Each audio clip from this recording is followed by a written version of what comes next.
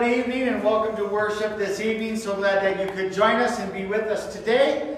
A couple of quick announcements for you. We hope that you'll join us on Sunday morning at 9 a.m. for worship. We are going to have in-home communion this Sunday, so we encourage you to go ahead and get that communion ready to go at home to distribute amongst your family uh, for worship next Sunday. Also, um, we've been able to add the ability for you to support Trinity's ministry right through the website. So if you go to www.trinityboyceville.com, right on the front page, you'll find, um, if you scroll down just a little bit, you will see an area where you can give a financial gift to Trinity. We again are so thankful for your financial support of Trinity's ministry, even in these different times. Also, be looking out for the next week. Be checking that Facebook page and your email for updates about some uh, content that's going to come out, some stuff for kids, some um, other opportunities. And so please uh, keep checking all that out. If you are not getting Trinity um, emails, please shoot me an email um, at pastorpb at cltcomm.net and I'll make sure that you are on the list. You can find your worship bulletin on that Trinity website, um, or um, it was posted earlier today as a link on um, our Facebook page. So we invite you to turn to that as we begin our worship with Jesus Christ is risen today.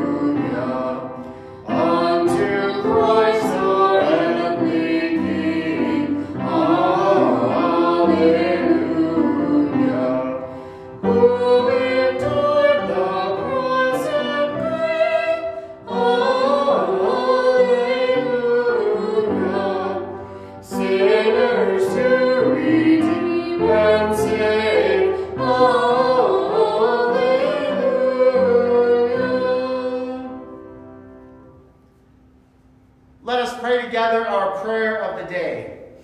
We pray together.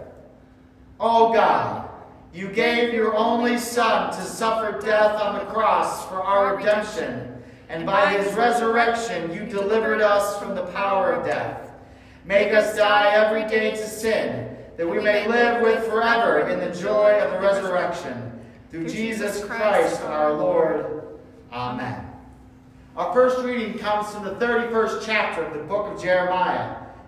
second verse. Thus says the Lord, the people who survived the sword found grace in the wilderness when Israel sought for rest. The Lord appeared to him from far away.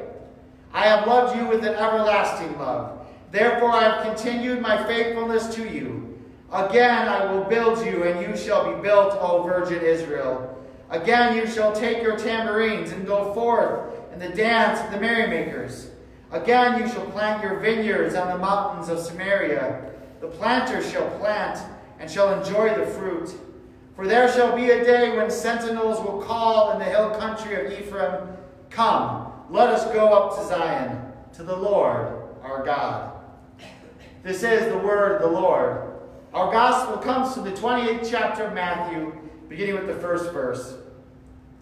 After the Sabbath, as the first day of the week was dawning, Mary Magdalene and the other Mary went to see the tomb. And suddenly there was a great earthquake. For angel of the Lord, descending from heaven, came and rolled back the stone and sat on it. His appearance was like lightning, and his clothing white as snow. For fear of him, the guards shook and became like dead men. But the angel said to the women, Do not be afraid. I know that you are looking for Jesus who was crucified. He is not here, for he has been raised, as he said. Come see the place where he lay. Then go quickly and tell his disciples, He has been raised from the dead. Indeed, he is going ahead of you to Galilee. There you will see him. This is my message for you. So they left the tomb quickly with fear and great joy and ran to tell his disciples. Suddenly Jesus met them and said, Greetings! And they came to him, took hold of his feet, and worshipped him. Then Jesus said to them, Do not be afraid. Go and tell my brothers to go to Galilee. There they will see me. This is the gospel of our Lord. Grace and peace to you from God our Father and our Lord and Savior Jesus the Christ. Amen. You know, I think probably the most common question asked right now when you talk to somebody, whether you call them on the phone, whether you do a Zoom call with them, or maybe if you see them um, in a store, at the gas station, you're keeping your social distance, might be when do you think this will all be over? You might also be thinking to yourself, what are the things you're going to do, the first things you're going to do when you can do them again? Will you run to your favorite restaurant? Will you be like me and run to the golf course and play golf instead of working every day, which most of you think I do anyways during this time? Maybe it's, going maybe it's going to see your grandchildren that you haven't seen, or seeing friends and being able to be in the same room with them and not have to social distance apart. But the interesting thing is the way we ask that question. When do you think this will be over? In other words, there is a sense that at some point this will be over. Now imagine, though, if you were in exile. You've been in exile for years and years and years, for almost a whole generation. And you might think to your, start asking yourself, when are we going to be restored? That's what's happening in the prophet Jeremiah. The people have been in exile in Babylon. And the word of the Lord comes to Jeremiah to give to the people a sense of hope that they'll be restored, that they'll plant vineyards again, enjoy the fruit, that they'll have tambourines, dancing, and merrymaking, that they'll be able to worship the Lord again in Zion, in Jerusalem, in the holy city, in the temple again. I know I am looking forward to having all of you here and being able to worship again and give praise and thanks to the Lord. But we're also in that point that not only are we asking the question, when will this be over, but we're also starting to get frustrated. Maybe we've had enough of family time. Maybe we've had enough of doing puzzles and cleaning out our closets and organizing our garages. Maybe we're starting to get a little bored and stir crazy. But also, it just seems like this has gone on forever when it's still not even, it's literally been about a month today. Our last service together was basically a month ago today. Seems like a long time. But we know that we will be restored.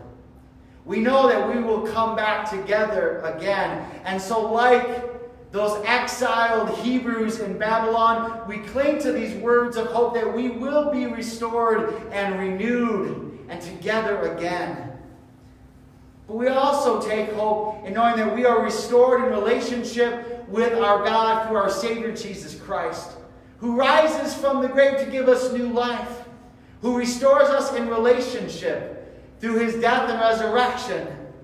That because Jesus has been risen, Forgiveness is for us. Sin is defeated. Death has no power. And that we are sustained in our weariness. That God is faithful to us even in the midst of this uncertainty, even in the midst of so many questions, of so much anxiety. God is right there in the midst, and Jesus rose so that we might be given new life, so that we might be restored, and so that we might never lose hope. That even when we feel like we're in exile, we always have a home. We always have a place. We always have a Savior who loves us and is there for us and is with us and with you. Maybe I invite you that besides discussing when we think this might all be over, is maybe thinking of the ways in which the Lord has been active in your life during this time. Those moments when the Lord has given you hope and strength. The moments when the Lord has reminded you that though it seems so lonely, that you're not really alone. Those moments of love and kindness and joy that come even in the most difficult of times. Because the Lord renews us, Christ restores us, and we have salvation and new life and hope always. We're not sure when this is going to end, but it will end. And just as the Lord was with us prior to all this, and just as the Lord is with us now, the Lord is with you and will be with you going forward, reminding us and reminding you that you have eternal life, that you are saved, that you are free, and that you always have hope. For that we can say, Thanks be to God. Amen.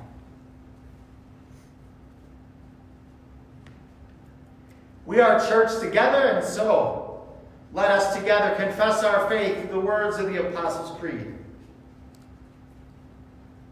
I believe in God the Father Almighty, creator of heaven and earth. I believe in Jesus Christ, his only Son, our Lord. He was conceived by the power of the Holy Spirit and born of the Virgin Mary. He suffered under Pontius Pilate, was crucified, died, and was buried. He descended into hell. On the third day he rose again. He ascended into heaven and is seated at the right hand of the Father. He will come again to judge the living and the dead. I believe in the Holy Spirit, the Holy Catholic Church, the communion of saints, the forgiveness of sins, the resurrection of the body, and the life everlasting. Amen. Let us pray for the whole people of God in Christ Jesus, and for all people according to their need. Loving and gracious God, in you there is restoration. In you, through the work of your Son, we are in right relationship with you. Remind us and be with us that we will be restored again. In the midst of despair and hopelessness, shower us with your grace, love, and mercy, and give us hope to trust in you and to know that we can get through anything that comes before us. Lord, in your mercy, hear our prayer. Loving God, give healing to all who are hurting this day in body, mind, and spirit. We lift all those battling this virus. We lift up all, all those who are struggling to be separated from loved ones and those that they can't see. We ask you to be with all those who are dealing with job loss and economic anxiety. Lord, in the midst of all the difficulties in life, give, give us healing, hope, and peace. Lord, in your mercy, hear our prayer. Loving God, the sun shines this day. Shine your light on our hearts that we might trust in you. Remind us that the darkness cannot overcome it because you are walking with us. Help us to feel your presence in all that we do. Lord, in your mercy, hear our prayer. Loving God, give strength to all our healthcare workers, all our essential workers, those who stock the shelves, the farmers who grow the food, and all those who are keeping us going in the midst of difficult times. Watch over them and keep them safe, and help us to be thankful for all those who do the little things that we so often take for granted. Lord, in your mercy, hear our prayer. And loving God, be with those who grieve the loss of loved ones. We ask that you would give them comfort, remind them of the salvation that you have given us through the death and resurrection of your Son, Jesus Christ. May your victory over sin and death give all of us hope. Lord, in your mercy, hear our prayer. Into your hands, gracious God, we commend all for whom we pray, trusting in your mercy through your Son, Jesus Christ our Lord. Amen. The peace of the Lord be with you always, and also with you. Share that peace with you right now, or of course through the comments on the Facebook page. Also want to say thanks and peace to all those who stopped on Sunday for drive-through communion. It was really great to see your faces um, and to be able to give you a sacrament. We will be doing that again And so just be, uh, uh, announcement will come out in advance before we do that again. But peace to all of you. And remember that, again, though we are separated physically, we are together, connected by the Spirit of God in Jesus Christ. Let us, as that one community of faith, join together in the words of the prayer that Jesus taught us. Our Father, who art in heaven, hallowed be thy name. Thy kingdom come, thy will be done, on earth as it is in heaven. Give us this day our daily bread, and forgive us our trespasses, as we forgive those who trespass against us. And lead us not into temptation, but deliver us from evil. For thine is the kingdom, and the power, and the glory, forever and ever. Amen. And now receive God's blessing. May the Lord bless you and keep you. May the Lord's face shine upon you and be gracious to you. May the Lord look upon you with favor and give you peace in the name of the Father and of the Son and of the Holy Spirit. Amen. Go in peace to love and serve the Lord. Thanks be to God. We conclude with our closing hymn, Christ the Lord is risen today.